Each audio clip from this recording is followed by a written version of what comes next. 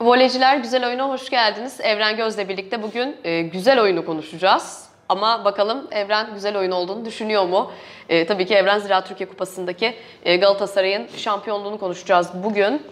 Şimdi e, bu maçı konuşmadan önce hı hı. kupanın etrafında döneceğiz tabii ki. Ama e, dün akşam bu maçtan sonra bir kere Galatasaray'ı tebrik ederim. 57. E, Ziraat Türkiye Kupası Galatasaray'ın oldu. Akisar Spor 3-1 mağlup etti Sarı Kırmızılar ve kupanın sahibi oldu. E, bu mücadelede, şimdi ilk yarı bence çok sıkıcıydı bu arada. Evet. İkinci yarıda biraz aslında e, hengameden dolayı izlettirdi kendini. Gerginlik oldu mücadelede. E, bir diğer yandan Suat Arslanboğa'nın yönetimi Of yani çok eleştirildi e, ve şöyle bir algı oluşturuldu. Bu bir algı mı, bu bir gerçek mi? Sana göre onu soracağım. E, Galatasaray'a kupa verildi. Şimdi aynı şekilde Galatasaray'a Süper Lig şampiyonluğu da verilecek. Bunlar zaten kurguluydu. E, hakem baştan itibaren kurguluydu diye bir söylenti var, söylem var e, e, o sosyal zaman medyada. Şöyle yapmak lazım. 1 Haziran'da Madrid'de final var. Şampiyonlar Ligi finali. Oradan da Galatasaray'a kupa versinler. UEFA Kupası'nı da versinler. Avrupa Süper Kupası Vodafone Park'ta değil mi? Hı. Oraya da Galatasaray çıksın. Ya bence çok saçma. Yani kupayı bir takıma vermek ya da işte algı, dizayn hani nasıl diyeyim? Bu kadar da yani futbolun dışında biz hep güzel oyun programımızın ismi ya. Hani futbol konuşmak istiyoruz. Futbolun içinde kalmak istiyoruz. Kalamıyoruz ama ben bu algıların e, çok saçma olduğunu düşünüyorum. Çünkü e, dünkü maça bakacak olursak e, Lines'in pozisyonu, Cagney'in pozisyonu e, bariz penaltı. Ve Lopez kendisini attırmak için her şeyi yaptı. Şimdi hakeme itiraz edip bana göster, reverans yaptı resmen böyle yani. Onun öncesinde yere su e, şişesini vurmak suretiyle, hakeme bana kart göster deyip üzerine yürümek suretiyle. Hatta Fatih de, kaleci Fatih de golden sonra hakeme koşup sarı kart gördü ya. Bir pozisyonda da penaltı bir yere düştü.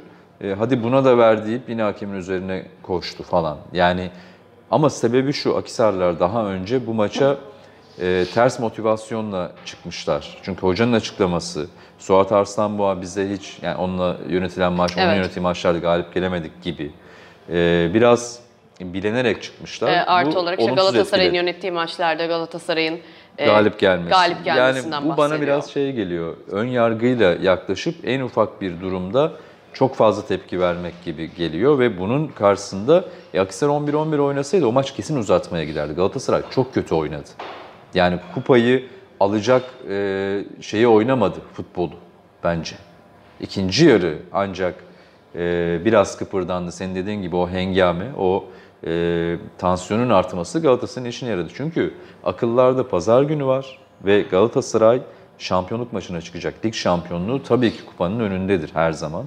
Ama teknik direktör Fatih Terim ise oyuncularda hiçbir zaman e, o nasıl diyeyim e, şey oyunu oynayamazlar. Hırsız oyunu oynayamazlar. Yani Fatih Hoca varsa onu zaten 45. dakikadan sonra çözdü hoca durumu. İlk yarı Galatasaray hiçbir şey oynamadı.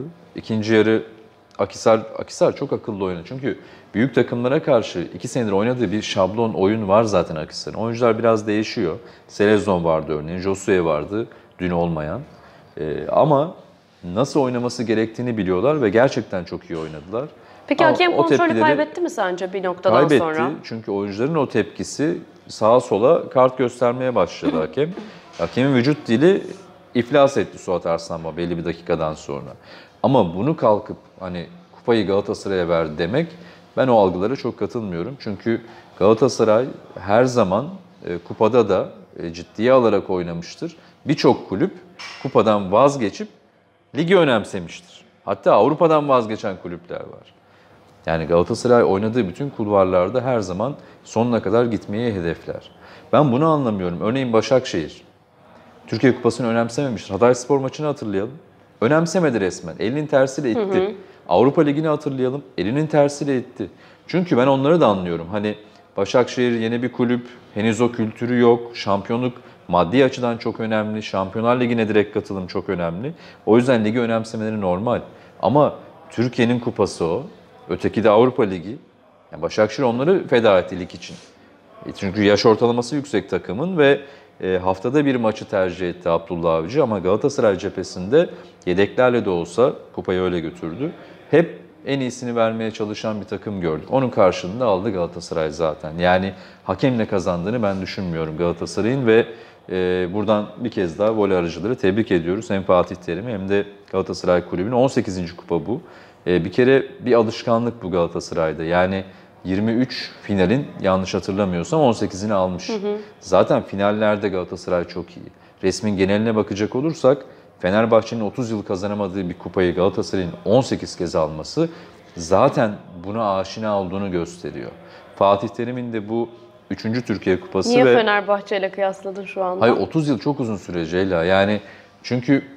O, yani, şey yapmak istemiyorum bu arada ama hatırlıyor musun bilmiyorum. Ee, yıllar sonra Ziraat Türkiye Kupası'nı Fenerbahçe Aykut kazandığında e, öyle espriler döndü ki sosyal medyada işte renkli televizyonlarda ilk Tabii, kez. ya 30 Sen yıl çok tuttu uzun aklınıza süre. ne geliyorsa. Aynen yani 30 yıl Türkiye Kupası'nı alamamak ben e, Belli bir noktadan büyük sonra da kulüplere- önemsemeyi bıraktı ama Fenerbahçe. Bu tarz açıklamaları o taraftan hatırlıyoruz. Sonradan Aziz Yıldırım tekrardan biz kupayı istiyoruz İşte onu dedi. diyorum yani kupayı önemsememek ne demektir ya? Yani kupa bu.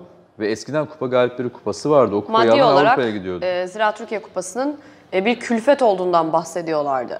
Ben bazı kulüpler. katılmıyorum. Katılmıyorum. Çünkü Anadolu'daki siz mesela A-Spor döneminde çok güzel işler yaptınız. Sen de oradaydın.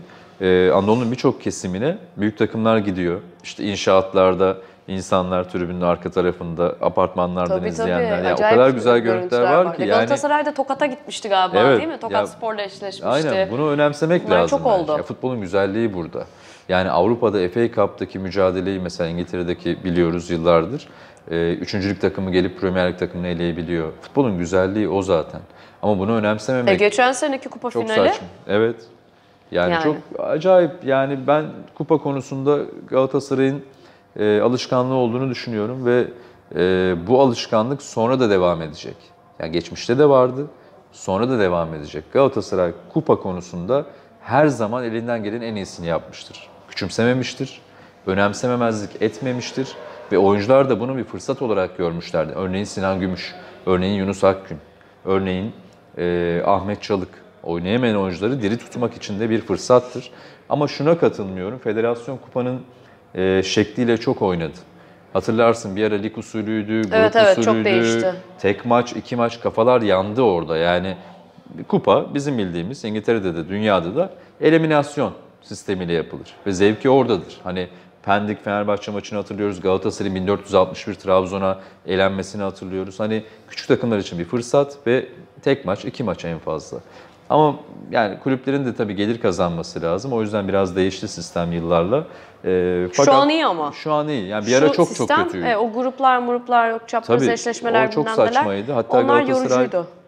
Aydın Yılmaz'ı ve Buruma'yı kaybetti kupada. Doğru. Çok önemli iki eksik verdi. O kadar çok maç yapıldı ki ve sahalarımızın durumu da yani o taraftan da bakacak olursak oyuncu sağlığı açısından Elazığ'daydı Aydın'ın sakatlandığı ve saha yüzünden biraz sıkıntı yaşamıştı. Hatırlıyorum onu. E, Buruma'nın da e, Türk Telekom'da kötü bir zeminde oynamıştı ve ters basmıştı. E, sonuç olarak bence Galatasaray'ın e, hak ettiği bir kupa ve e, gerçekten hak ettiği bir e, skorla aldı. Cagne konusuna biraz bence değinmek lazım. Çünkü penaltı konusu e, biraz hmm, nasıl diyeyim? Selçuk açıklama yaptı gerçi. Hakan Gündoğar'a röportaj verdi Evet. Selçuk. E, şunu dedi, belki izlemeyenler vardır aktaralım. E, Fatih Hoca istersen sen at diyor Selçuk'a. E, ama tahtada soyunma odasında Cagne'nin ismi yazıyor. Selçuk Cagne ile konuştu ve Cagne iyi olduğunu, hazır olduğunu hissederek e, topa geleceğini söyleyip kendi attı.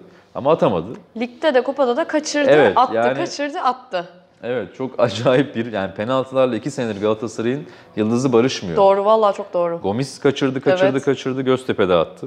E Cagne bir atıyor, bir atmıyor. Yani şey gibi, zar atar gibi ya. Cagne %50-50. Yani Başakşehir maçında ben voleyde bir anket yaptım. Onu da oylayabilirsiniz. Başakşehir maçında penaltı olursa topun başına kim geçsin?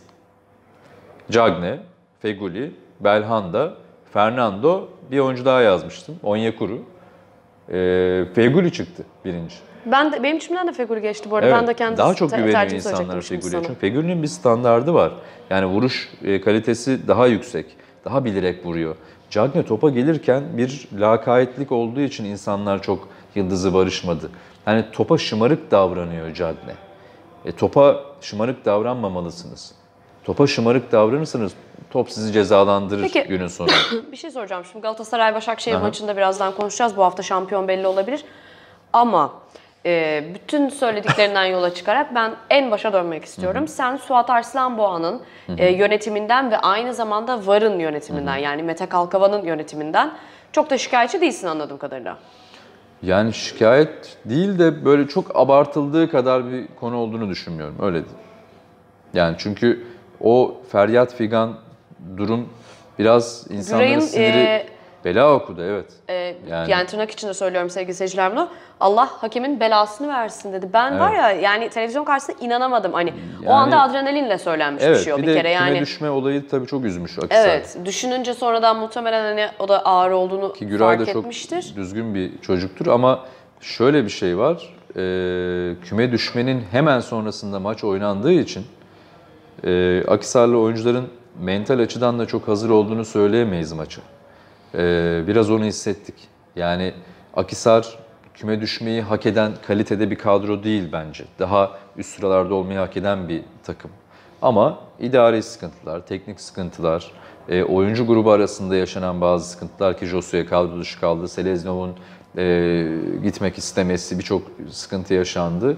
E, Akisar sonuç itibariyle düştü düşen bir takımın oyuncu grubu geldi Galatasaray'a karşı. Orada mental açıdan e, çok hazır değillerdi. Ben yıpranmışlık, sezonu çok erken açmak ki Avrupa Ligi oynadı bu takım ve onu oynamak için de erken açtı sezonu daha hazır olmak için. Tempoyu yani antrenmanda şöyle bir şey vardır sezon planlamasında takımın e, top noktasında olduğu dönemi ayarlar teknik direktörler. Akisar bu top noktasını daha erkene çekince düşüşte keskin oldu öyle diyeyim.